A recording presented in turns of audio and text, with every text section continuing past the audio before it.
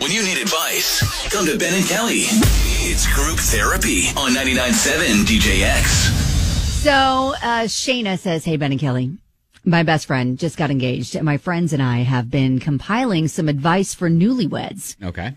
For example, my husband said that his one piece of advice for married men is if your wife or girlfriend ever says, do you think she's too skinny? Your, re- your response is always, yes, absolutely. She's too skinny. and don't wait. Don't hesitate. Just do it. Make it okay. Anyway, that was his.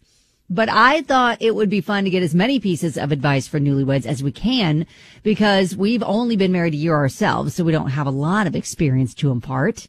Is this something you can toss out to your listeners? And based on both of your own personal experiences, what is the best piece of marriage advice you can give someone? Oh. Thanks so much. Love your show.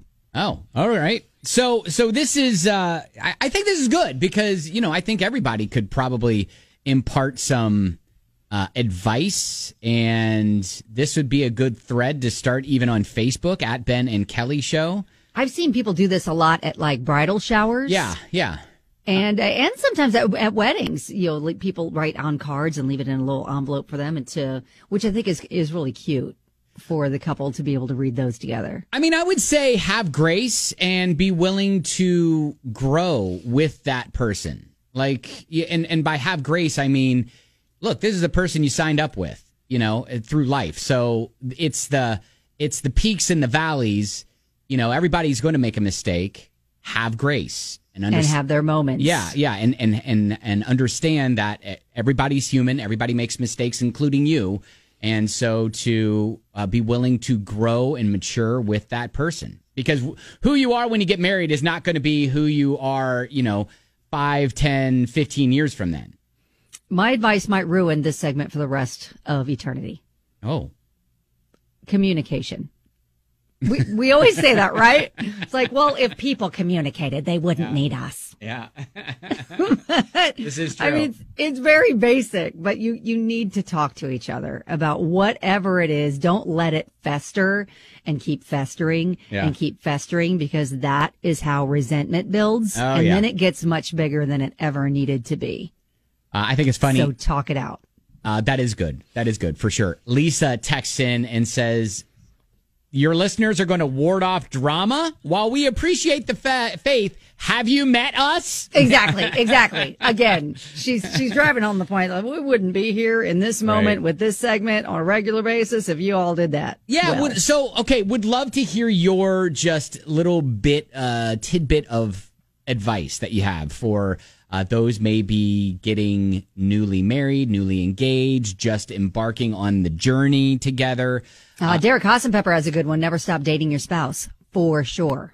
You do need to reserve time to go on dates Yeah. as a married couple, even if you've been married for a very long time. Yep. Life can get hectic and kind of pull you apart. You can become like two ships passing in the night. We're like, we're there right now. You Yeah. have to keep dating your spouse. For sure.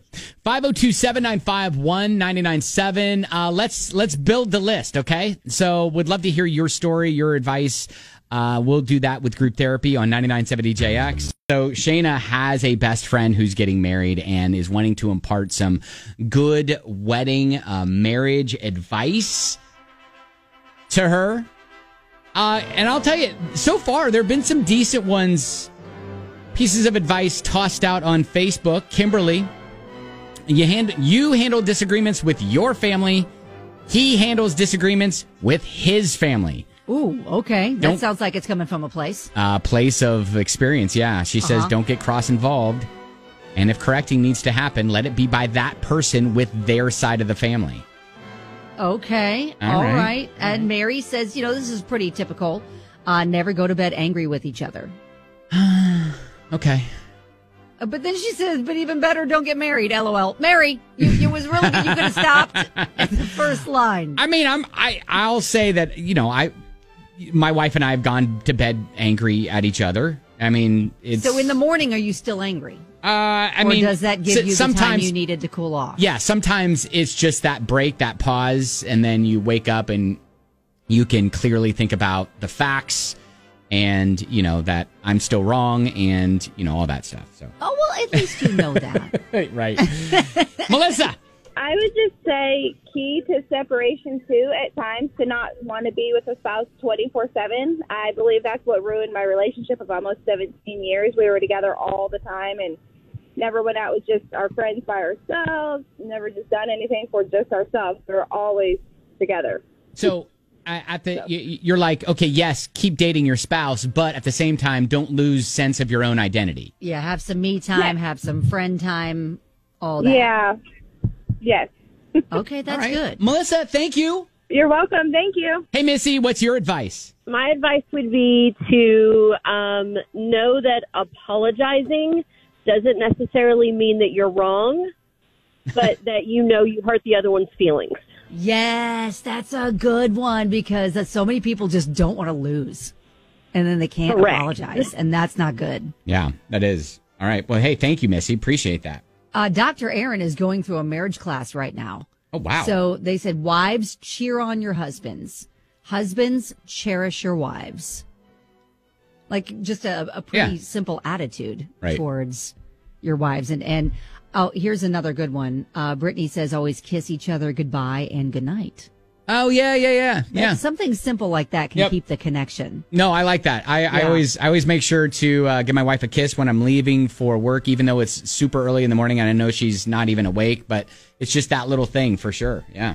Uh, Jessica says, take accountability for your role in disagreements.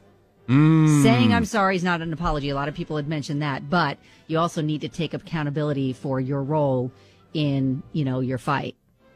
Yeah, and then uh, the number one seems to be um, communication. Yep. Yep, communication. And then finally, uh, Jackie's piece of wedding advice, marriage advice from Facebook. When an Amazon package arrives, pretend it didn't. Okay. Is that mostly geared towards the husbands. I feel like Yeah. that's aimed Yeah, just- one you know what? It's just like- in the couple. It's just like in Star Wars. It's like, no, there's no package here. Look away. These, this isn't. No, this isn't for you. Don't worry about it. Just don't worry about it. Comes in a Amazon brown. package. There was not. And there was not one. No, I thought I just saw one on the porch. No, you didn't. No, you didn't. Nope. Definitely did not. All right, cool. Well, hey, thank you. If you want to add some, I think it'd be a good thread to continue on our Facebook page at Ben and Kelly Show. And, you know, regardless of whether you've been married one year, one month, or, you know, 20 years, I think it'd be good to even go back and take a look at some of those pieces of advice and just kind of re remember Yeah. uh, uh, all that stuff. Yeah, Anna says uh, reading the five love languages love languages before your wedding is something we did. Yeah, make sure that you know how your partner needs to be loved. Uh, what is that? Earth, wind, fire, smoke, not and it. grass. No, not, no, that is not it. Oh. You need to read the book. okay. All right, there you go. That is group therapy.